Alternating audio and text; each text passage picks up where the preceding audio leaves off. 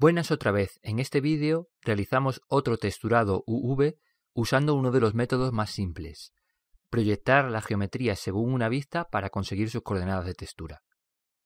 Partimos de este modelo de una pieza de ajedrez hecho con superficie de subdivisión. Si entro en modo edición, tecla Tab, vemos que se trata de una malla relativamente simple que se ha refinado con el modificador de superficies de subdivisión. Como la malla sigue siendo esta, si le doy coordenadas de textura a los vértices de la malla, luego el modificador de subdivisión dará coordenadas de textura coherentes a los nuevos vértices que él crea. La textura que voy a utilizar es este fichero que representa madera de nogal. Vamos simplemente a proyectar la figura entera sobre la textura como si estuviera esculpida en un bloque de esta madera. Ambos ficheros, el Blender y la textura los tenéis enlazados en los comentarios y en el blog. Vuelvo a Blender. Antes de crear el mapa UV, una observación muy importante. En el momento de crearlo, todos los vértices de la malla tienen que estar seleccionados. De esta forma se genera coordenadas UV para todos. Pulso la tecla A dos veces para asegurarme de que todos están seleccionados. Salgo de modo edición. Voy a poner la textura. Pestaña Material. Pestaña Textura. Nueva textura. Nombre Text Pieza. Tipo Imagen o película. En el panel Imagen, abrir el archivo. Luego pulso el icono para incluirlo dentro del fichero Blender. Y mirando la ventana 3D View parece que queda bien ya, pero tengo que seguir configurando porque si en la ventana 3D lanzo el motor de juegos, P, no se ve la textura. Escape para salir. Pestaña de datos. Crear mapa UV. Recordamos que antes nos hemos asegurado de que todo estaba seleccionado en modo edición. Nombre, mapa, pieza. Vuelvo a la pestaña de textura y abajo en el panel Mapping elijo coordenadas UV y selecciono el mapa.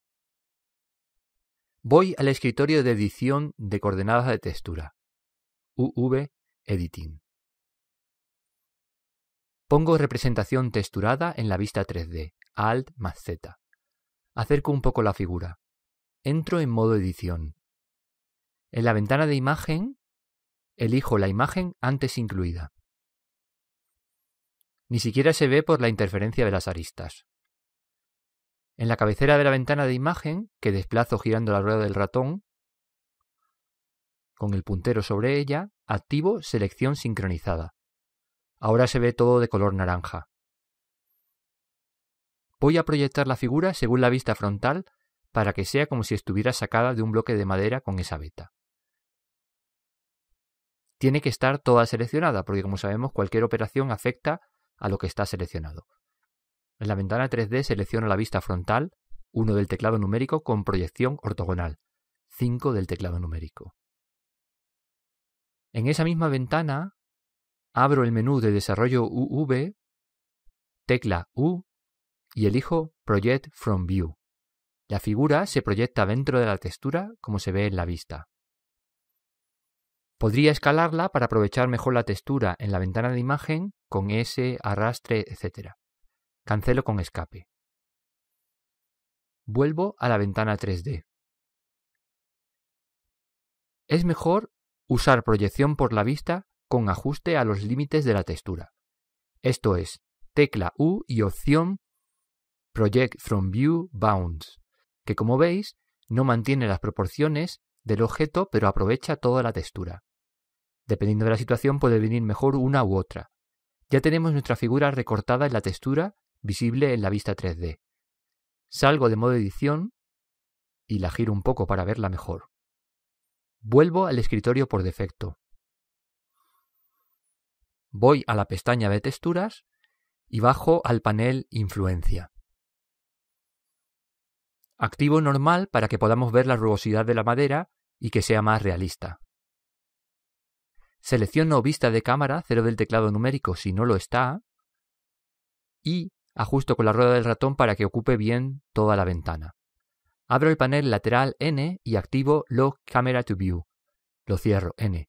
Y voy orbitando alrededor de la pieza para ver cómo queda. Salvo finalmente el fichero. Control más S y confirmar. Gracias.